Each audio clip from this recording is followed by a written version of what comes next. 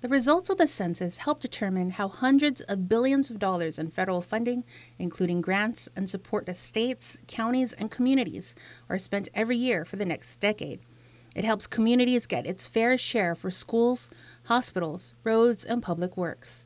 Last week, the U.S. Census released the 2020 Census Demographic and Housing Characteristics Summary for the island.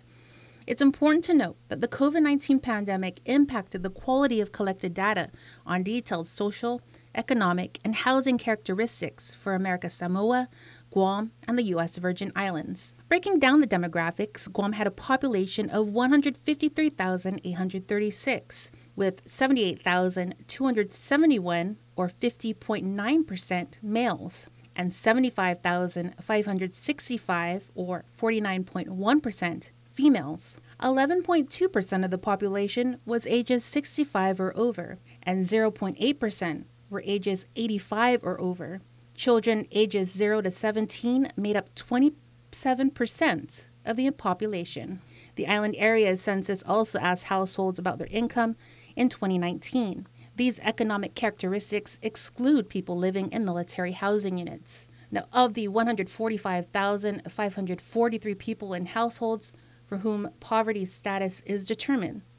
20.2%, or 29,408, had income below the poverty level.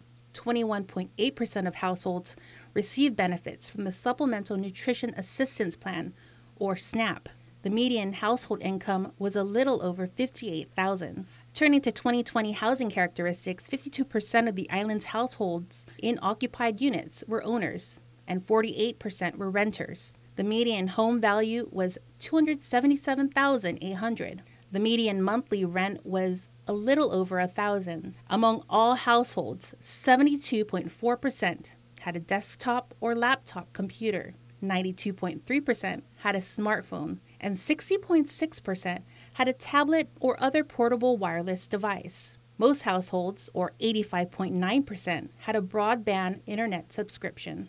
With social characteristics, points of interest include 15.8% of households consisting of one person living alone. The median length of marriage for both currently married men and women ages 15 and over in households was 19.1 years. Of grandparents living in households with their grandchildren under the age of 18, 36.1% were responsible for their basic needs. 54.3% of grandparents caring for their grandchildren under 18 had been responsible for them for at least five years. The majority, or 86% of the population ages 25 and older, had a high school degree, and 25.3% had a bachelor's degree or higher. Business was the most common field of those with a bachelor's degree. To read up on more data for Guam, view census.gov.